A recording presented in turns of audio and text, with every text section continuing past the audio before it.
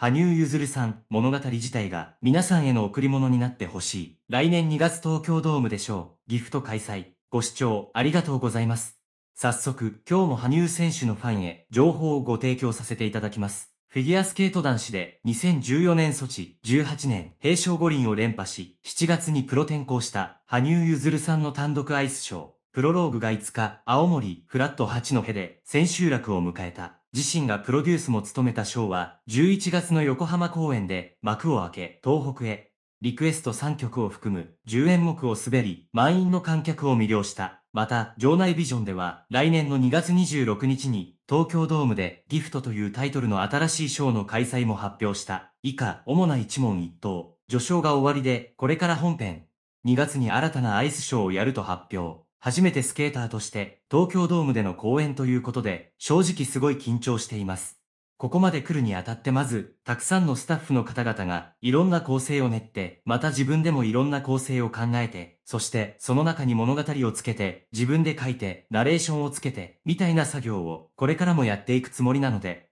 普通のアイスショーとはまた違って物語が主体としてあって、その中に僕のプログラムたちがいろんな意味を持ってそこに存在しているっていう、なんか絵本のような物語を鑑賞しに来ているような、そんな感覚で見ていただけるスケートになっていると思うので、ぜひ期待していただければと思います。東京ドームも一人で、東京ドーム一人でやるつもりです。新しい感覚で楽しんでいただけるような、ショーっていうよりも、スケート、物語にしていきたいなっていう風に思っています。今後もプロローグのような形のアイスショーだったりとか、いろんなアイスショーにも参加させていただく予定ですし、ちょっと進化したようなショーたちも、これからもどんどん、ますます進化させていきたいと思いますし、もっとやっていきたいんですけど、それとは本当にまた、全く違ったスケートの見方みたいなものを、東京ドームではやりたいかなと思っております。東京ドーム公演の構想が始まった時期は、東京ドームを選んだ理由、ギフトに込めた思いを教えてください。プロローグの構成を先に進めながら、またギフトも考えながらみたいなことをやっていました。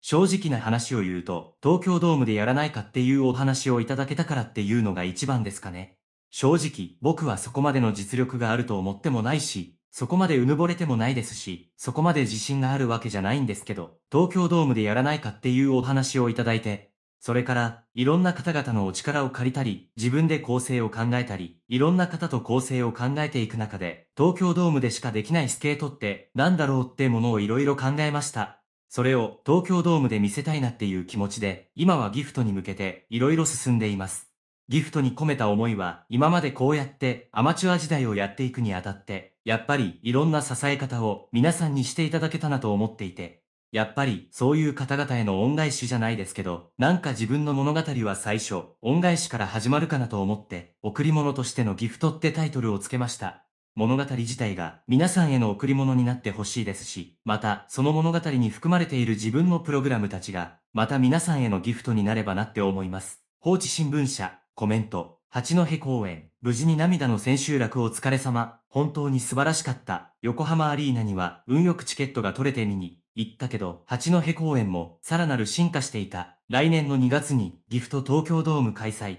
いよいよ都心にての本格的指導。プロローグからギフトへ、開始から贈り物へ、構成から企画演出を一人でやって、そして演技のショータイムは本当にすごい。東京ドームは即チケットはソールアウト。やろな。2月までゆっくりと休めないね。しっかりと休養してまたギアを上げて、ぜひとも東京ドームで素晴らしい演技見せてください。とりあえずチケットを抑えないとな。東京ドームの素晴らしい演技、また楽しみに。待ってますよ。ご視聴ありがとうございました。これからも一緒に応援していきましょうね。チャンネル登録をよろしくお願いいたします。